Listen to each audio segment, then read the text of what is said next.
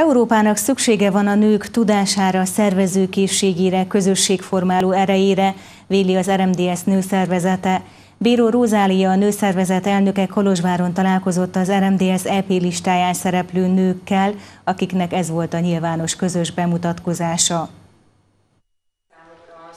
Európa jövőjéről és a nők ebben elfoglalt szerepéről tartottak sajtótájékoztatót Kolozsváron.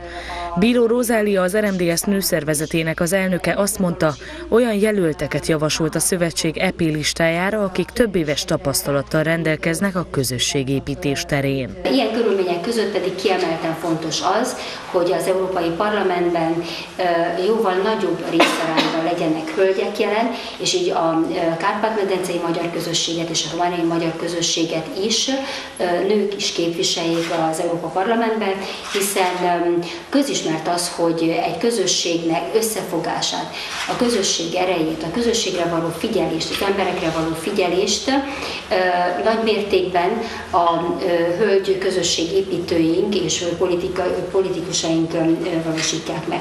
A közös sajtótájékoztatón Hegedűs Csilla elmondta, az európai parlamenti választásoknak soha nem volt még ekkora tétje, mint idén.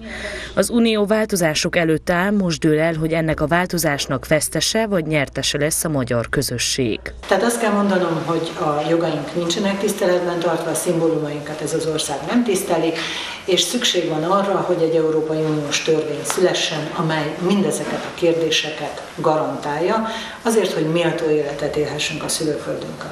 Hegedűs Csilla a szövetség listájának a harmadik helyén indul brüsszeli székért. Állítása szerint megfelelő mozgósítással a jelenlegi két EP képviselői hely mellett reális esély van megszerezni a harmadikat is, ami öt évvel ezelőtt 50 ezer szavazaton múlott. Hegedűs mellett további öt olyan hölgy indul az RMDS EP listáján, akik 10-20 éve tevékenykednek a közösségük érdekében.